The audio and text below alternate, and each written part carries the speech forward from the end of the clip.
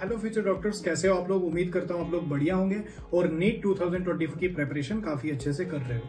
देखो बच्चे, हमारी प्रेपरेशन बहुत अच्छे से चल रही है। हमारी पूरी एनसीआरटी कंप्लीट हो गई। सब कुछ अच्छे से चल रहा है ना? बट हम कैसे अपनी परफॉर्मेंस को चेक करें? हमारी परफॉर्मेंस कितनी चल रही है? इसके लिए आपने टेस्ट सीरीज़ लगाई होंगी। जिनने टेस्ट सीरीज़ लगाई है, बहुत अच्छी बात है। और जो टेस्ट सीरीज़ नहीं लगवा पा रहे हैं किसी भी कारण से तो वो टेस्ट सीरीज़ को ऑर्डर कर लें। आज मैं एक सिंपल सी वीडियो बनाने जा रहा हूँ। किसके ऊपर ये है? मैंने टेस्ट सीरीज़ एक पीडब्ल्यू की ऑर्डर की हुई है।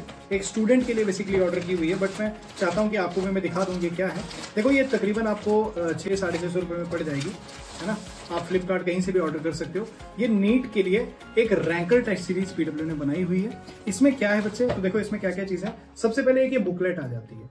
इस बुकलेट में आपको क्या मिलेगा? इस बुकलेट में आपको आंसर शीट्स मिलेंगी। मतलब ये तो क्वेश्चन पेपर है ना? ये देखो, एक तो ये बुकलेट मिल रही है।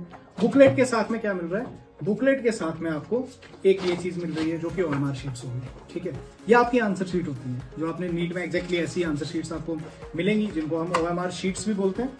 और साथ में एज इट इज़ नीट का एग्ज़ाम का पेपर जो है आपको ऐसा ही मिलेगा। तो वैसे ही आपको कुछ क्वेश्चन पेपर मिलेंगे, ठीक है? तो एक तो क्वेश्चन पेपर हो गया, ठीक है सर, ये हमने लगाने हैं, ये एम शीट्स हो गई, ठीक है? तो ये बुकलेट में क्या है? तो इस बुकलेट में आपको आंसर्स मिलेंगे एक्सप्लेनेशन मिलेंगे इन क्वेश्चन के। समझ में आ रहा है?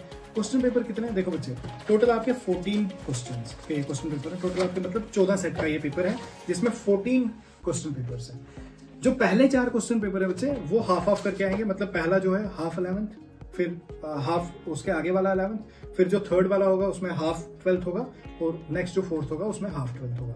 और उसके बाद जो बाकी दस क्वेश्चन पेपर है बेटा, वो फुल सिलेबस के होंगे। मतलब पूरा नीट का फील आपको मिलेगा। सेम ऐसा ही। तो ये सारा आपको फील मिलेगा। और ओ एम आर शीट्स कितनी है? तो ओ एम आर शीट भी आपको कितनी मिलेगी? टोटल आपको 14 ओ एम आर शीट्स मिलेगी। एक्सप्लेनेशन भी है। अब ये चीज़ आप ऑर्डर करो, घर में फील लो इस चीज़ का, पूरा टाइमर सेट करो, बिल्कुल जैसे नीट का एग्ज़ाम दे रहे हो, उसी तरह से। और इसको ना, मैंने एक स्टूडेंट के लिए ये चीज़ बनाई हुई है, मैंने पूरे 14 का पूरा प्लान प्लानर एक बनाया हुआ है, ठीक है? ये प्लानर आप खुद भी बना सकते हो, ठीक है? ये प्लानर है। अब मैं इसका स्क्रीनशॉट या ये सब कुछ शेयर इसलिए नहीं करूँगा आपके साथ, क्योंकि ये प्लानर आप अपने मुताबिक बनाओ।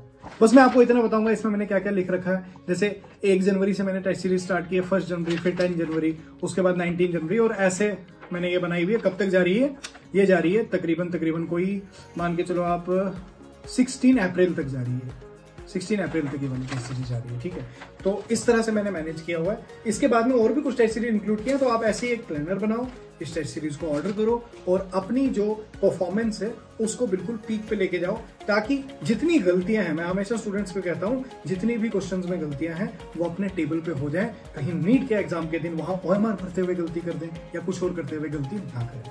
तो अपनी तैयारी अच्छे से करो और ये अगर आपको फ़ायदेमंद लगती है तो इसको ऑर्डर करो टेस्ट दो नीट में इस बार सिलेक्शन लेके दिखाओ। Thank you so much